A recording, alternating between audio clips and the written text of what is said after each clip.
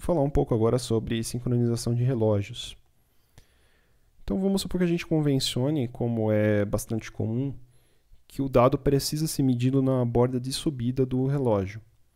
Então, nesse caso, o transmissor vai tentar centralizar o dado em cima da borda de subida dele, de forma que seja o momento mais estável possível de se medir esse dado para não pegar momentos em que ele esteja é, mudando lentamente durante a transição ou até oscilando, né? Às vezes acontece por causa de indutâncias parasitas.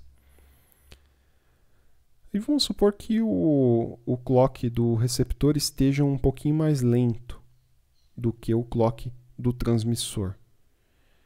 Uh, então, o que, que vai acontecer?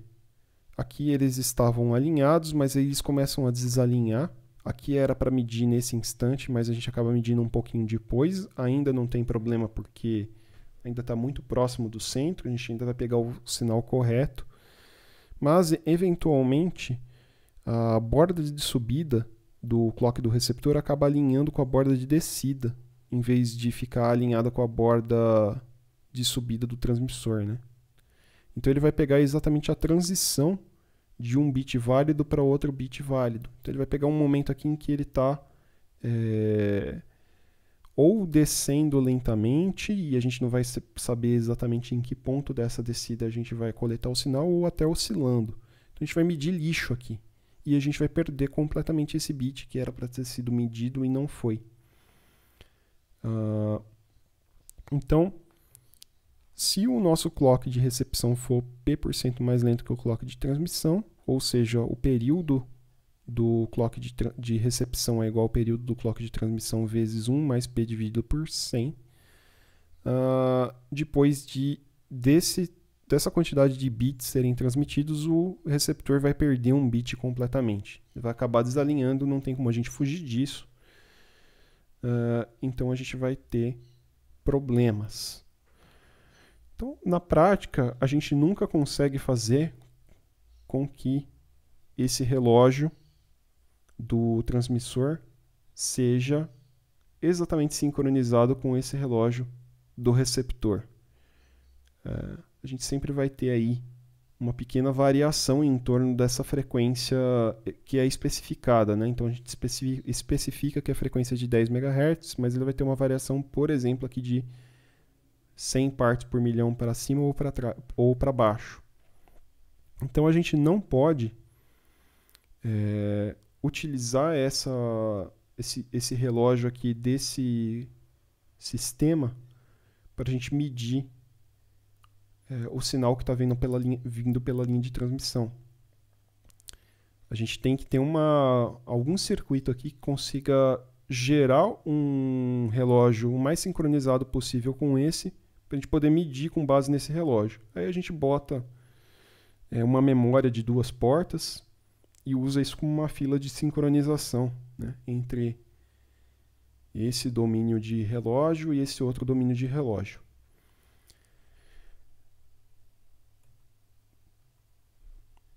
Então, se a gente não conseguir enviar esse, esse clock, por exemplo, por meio de um segundo fio, a gente tem que recuperar esse clock. E para a gente conseguir recuperar, o nosso fluxo de dados precisa ter transições o suficiente para a gente conseguir é, determinar quando que a gente vai é, amostrar o sinal. Uma forma da gente garantir que o nosso sinal tenha bastante transição é o que a gente chama de codificação de Manchester. Então, na codificação de Manchester, a gente transmite os bits como transições e não como níveis. Com isso, a gente garante que a gente tenha pelo menos uma transição por bit. Então, o zero a gente transmite com, como um 1, um, 0, que causa uma transição de descida. E o 1 a gente transmite como um 0, 1, que causa uma transição de subida. Então, a vantagem da codificação Manchester é que a gente garante que ocorra pelo menos uma, uma transição de amplitude para cada bit. Tem uma outra vantagem também que a gente é, produz um sinal que é balanceado, independente dos dados que estão trafegando. Se a gente pegar a média de tensão desse sinal vai estar tá nessa amplitude, na média entre essa amplitude e essa amplitude aqui, porque a gente vai ter um número igual de zeros e de uns. E a desvantagem é que a gente precisa do dobro de banda do que a gente precisaria é, caso a gente estivesse transmitindo os bits direto. Então, vamos ver aqui um exemplo.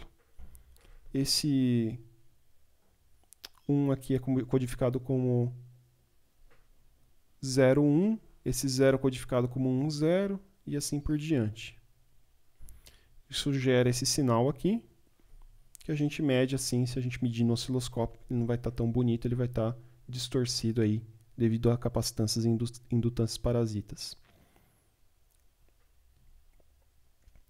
É o que, que a gente consegue fazer aqui. É... Na hora que o receptor for medir, ele espera cair numa transição, né? E se tiver um pouco mais para frente ou um pouco mais para trás do local onde ele esperava, ele consegue ajustar o relógio dele. A intuição é basicamente é essa. Essa única forma da gente conseguir introduzir é, transições no, nos nossos sinais para a gente conseguir sincronizar o relógio? Não. Então existem formas que são mais eficientes em termos de é, a gente não precisar dobrar a, a, necessidade de banda, a gente vai precisar de uma quantidade menor de banda adicional para introduzir essa sincronia. Por outro lado, uh, a gente vai sincronizar de menos em menos tempo, então eles ficam um pouco mais vulneráveis a problemas de sincronização. Mas se a gente conseguir garantir que a gente é, que a tolerância do nosso, do nosso relógio é, não é tão alta, não vai ter tanta variação em torno da frequência central, a gente acaba conseguindo usar essas codificações. Um exemplo é o 4B, 5B, que é usado pelo Ethernet de 100 MB. Então, Manchester é usado pela Ethernet de 10 MB, o Ethernet de 100 MB já utiliza essa outra codificação. Então, em vez dele transformar cada um bit em dois bits diferentes na saída, ele agrupa os bits de 4 em 4 bits e transforma os 5 bits de acordo com essa tabela aqui. Com isso, essa tabela é projetada para garantir que a gente tenha uma certa quantidade de transições dentro do sinal e a gente possa usar isso para alinhar os nossos relógios. Então ele é mais eficiente em termos de banda, tem só 25% de é, sobrecarga, né? E só que como tem menos transições, é um pouquinho mais difícil a gente recuperar o relógio.